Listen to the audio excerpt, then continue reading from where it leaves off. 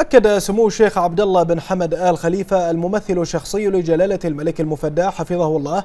رئيس المجلس الأعلى للبيئة أن مملكة البحرين كانت وستبقى راسخة ولها مكانة دولية مرموقة وتحقق كل المكاسب والإنجازات في جميع المحافل والميادين المحلية والإقليمية والدولية.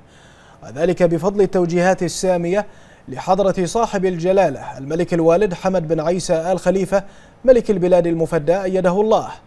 ولتثبت المملكة أنها تزخر بطاقات متميزة وعمل دؤوب يسهم في تقديم أفضل الصور وفي كافة المجالات وبما يواكب التطور وموضع الإشادة من المجتمع الدولي.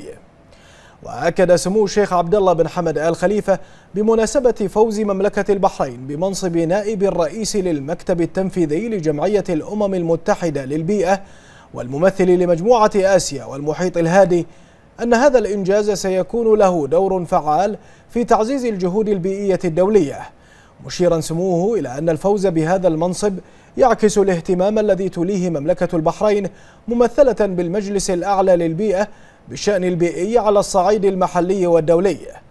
وأوضح سموه أن منصب نائب الرئيس للمكتب التنفيذي لجمعية الأمم المتحدة للبيئة يعتبر إنجازا مشرفا يضاف للإنجازات الدولية التي حققتها مملكة البحرين في مختلف المجالات حيث سيتيح الفرصة لمملكة البحرين في تمثيل الدول الواقعة في إقليم مجموعة آسيا والمحيط الهادئ. وسيمكن مملكة البحرين من إيصال الصوت العربي لجمعية الأمم المتحدة للبيئة في في كل ما من شأنه أن يخدم المصالح البيئية لهذه الدول ويصب في دعم برنامج الأمم المتحدة للبيئة. وقال سمو الشيخ عبد الله بن حمد آل خليفة